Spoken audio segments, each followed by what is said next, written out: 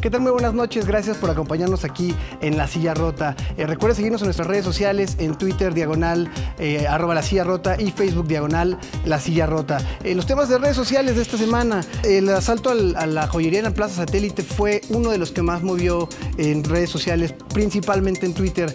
Los usuarios estaban quejando eh, y presentándole muchas menciones al gobernador Erubier Ávila porque están quejando de la seguridad en la Plaza Satélite y en los alrededores del Estado de México. Es un tema que ya viene arrastrándose de tiempo atrás. Los usuarios están constantemente eh, tuiteándole al gobernador Erubiel Ávila sobre este tipo de, asaltos que se han presentado ya en tres ocasiones en esta Plaza Satélite. Y lo que no deja de moverse es el tema del PAN. Ernesto Cordero y, su hashtag Voy Cordero Oliva ha dado de qué hablar en las redes sociales. Los usuarios están subiendo porque también está haciendo un- una especie de seguimiento con eh, los usuarios que están contactándolo por redes sociales y están con él en la campaña.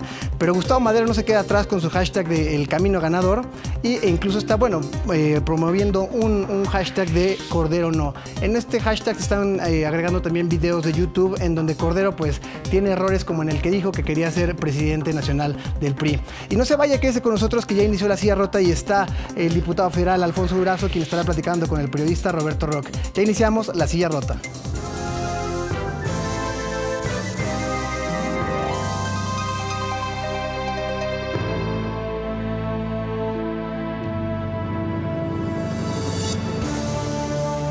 ¿Qué tal? Muy bienvenidos nuevamente aquí a la Silla Rota. Nos acompaña en esta oportunidad un, testigo clave para un caso que hemos querido desentrañar en la Silla Rota como un ejercicio para entender mejor al México de hoy, no solamente como una efeméride sociosa.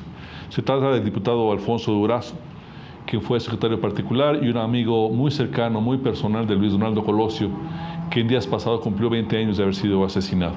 Alfonso, es un placer tenerte en la Silla Rota. Gracias Roberto por la El- invitación, el- con mucho gusto. ¿eh? Uno de los postulados, digamos, del proyecto de la silla rota es la, la- la ruptura que, que tuvo desde hace años el ejercicio del poder, la incapacidad de los hombres del poder de llegar a acuerdos. Y pensamos que eh, en el asesinato de Luis Donaldo Colosio se sembró algo que no ha acabado de sellarse eh, de ninguna suerte. Seguramente también se abrieron caminos para tomas de decisiones importantes en materia de consolidación o de la propia transición democrática en México.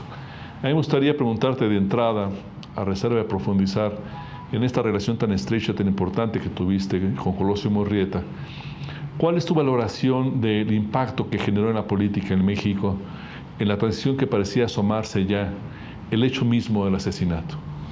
Bueno, mira, primeramente, a lo mejor repito un lugar común, pero creo que es una herida en la memoria de los mexicanos.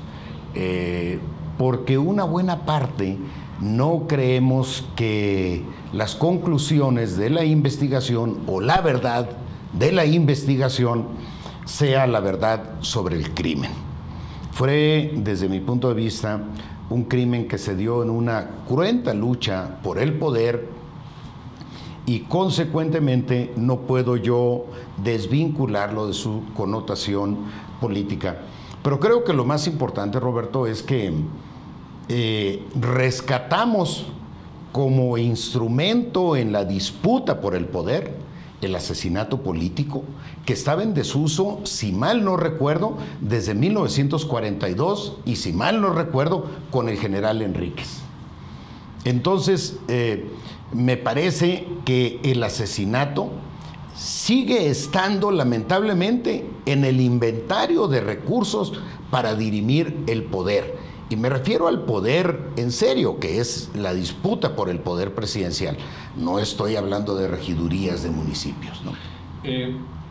Pero también ahí, Roberto, también En ahí, todos los en, espacios. en- en todos los niveles, porque si recordamos que hace un año, un par de años, en Sonora, el diputado, un diputado suplente, fue el autor intelectual del asesinato de su titular como una vía para acceder Sí, en años recientes, en distintos ¿A qué niveles, de niveles? gobierno, eh, se han producido eventos que revelan, digamos, que dentro, como tú dices, del portafolio del ejercicio político, obviamente mal entendido, se encuentra la eliminación física del, del contendiente. Así es. Esa es tu convicción, de Es que la, la más grave.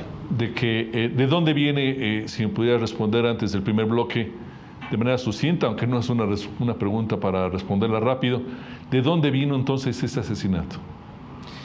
Yo siempre lo he ubicado, y no por eludir la respuesta, en el poder, en el centro del poder o en los alrededores del poder.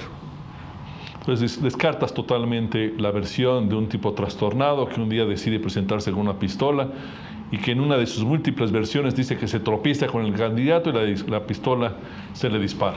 Yo creo que en el contexto de, una, de la disputa por el poder presidencial, eh, con todos los ingredientes que nosotros tuvimos oportunidad de conocer en el equipo de campaña, francamente, Roberto, creo que la mano o el dedo que jaló el gatillo es francamente irrelevante.